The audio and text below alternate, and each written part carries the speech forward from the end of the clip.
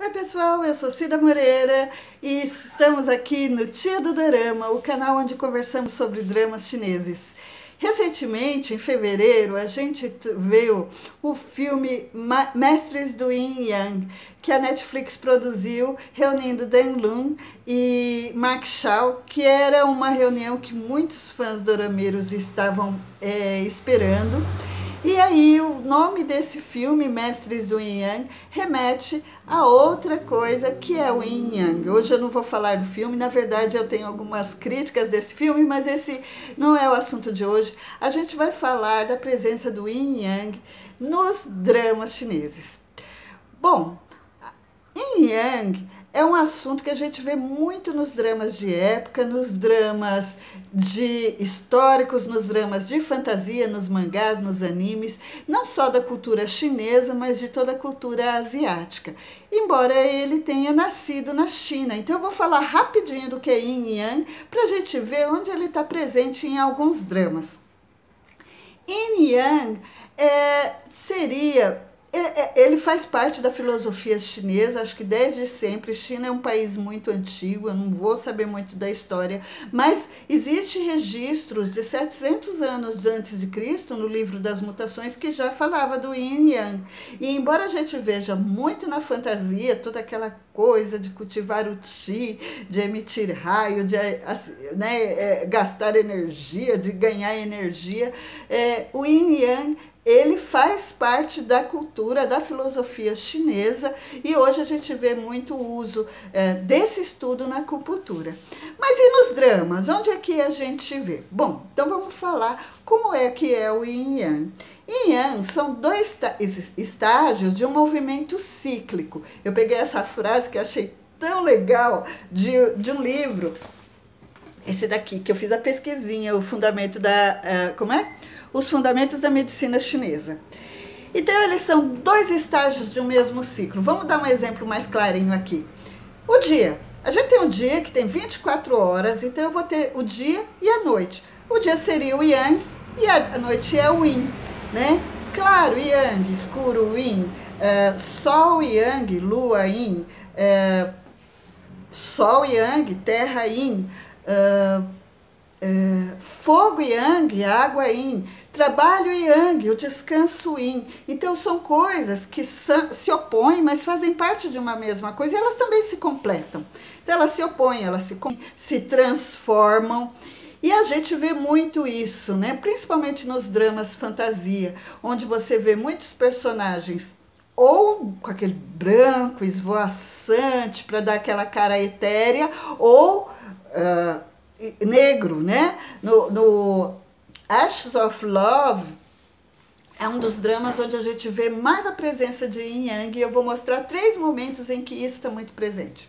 Nos cenários, é, aliás, gente, aqui vai ter bastante spoilers. Quem não assistiu Ashes of Love já fica sabendo que vai ter spoilers.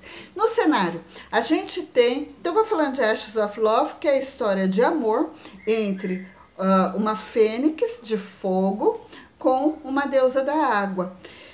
E aí vamos aos cenários, que é onde você vê Uh, onde o Shufan, que é a fênix de fogo, mora, que eles chamam de reino celestial, é um lugar onde predomina as cores dourados, muitos tons de dourados, muitos tons de vermelho e muitos tons de branco. Branco palescente, branco iridescente, branco cintilante e muito dourado, né? Um dourado mais pro cobre, um dourado mais claro. Por quê? Porque quer muito remeter a essa energia solar e essa energia de fogo e essa energia de claridade de dia. Então, é um Shufan é um, um Yang, né? Ele representa a força Yang, ele é o fogo, é o alto do Yang, é o que tem mais Yang. Enquanto que a a Jinmi que é a, a, a pessoa por quem Shufang se apaixona é uma deusa da água, ela é um elemento frio, ela tem a, a frieza, ela mora numa poça de água, então, ela tem todas as características do Yin. Ela usa roupas azuis em alguns momentos, né? Quando ela vai lá para o reino celestial, ela está com uma roupinha azul com essas características de água. Então, ela é, seria o elemento Yin.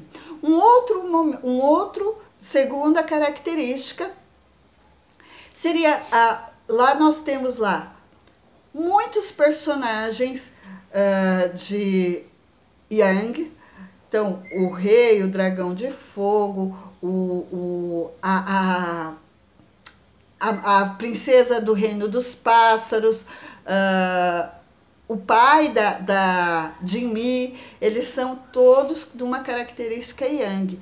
Mas dentro do, desse reino Yang, a gente tem um personagem que é de característica Yin, que é o Run Yu. Isso mostra também uma coisa muito forte do Yin Yang, que todo movimento, eu vou deixar aqui o gráfico do Yin Yang, que é bem conhecido, ele tem um desenvolvimento, ele nasce, se desenvolve, cresce, nele tem a semente do outro movimento. E isso, é claro, quando você vê, é a nossa segunda característica aqui, que é o Runyu, que embora ele viva no reino celestial, lá onde tem o, o, o, o, o dragão de fogo, que é o pai do, do, do Shufang, tem a Fênix, é, a mãe dele, que também domina uh, o fogo, ele tem Urunyu, que ele é responsável pela noite, pelos movimentos das estrelas, e ele trabalha à noite. Essa é uma característica Yin,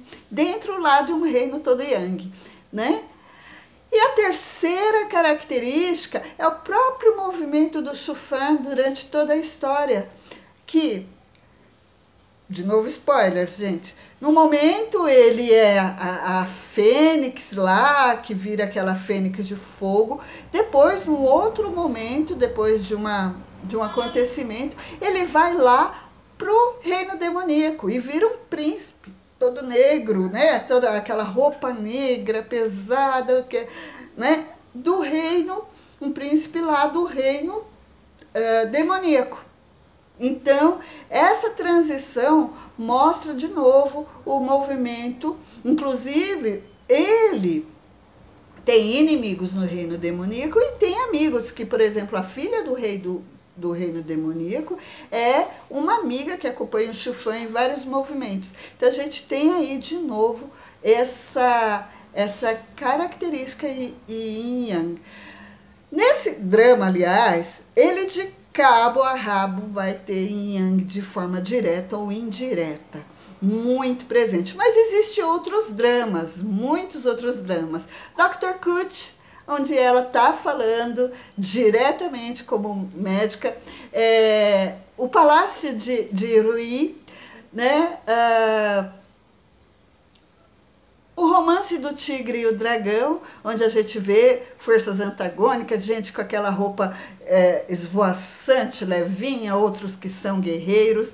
Então a gente vê. Tem mais outros dramas. Coloca aí para mim mais outros dramas onde você vê essa característica, onde tem forças opostas que às vezes se opõem, às vezes contribuem um, um, com o outro. Como é que é isso? Coloquem aí nos comentários onde vocês viram mais essa característica. O mais legal disso tudo é que esses heróis, por fazerem parte de uma mesma, mesma coisa, às vezes eles. Aqui não tem tipo o bom e o mal, que o mal trabalha contra o bem e o bem detona o mal, porque eles, na verdade, se veem como forças.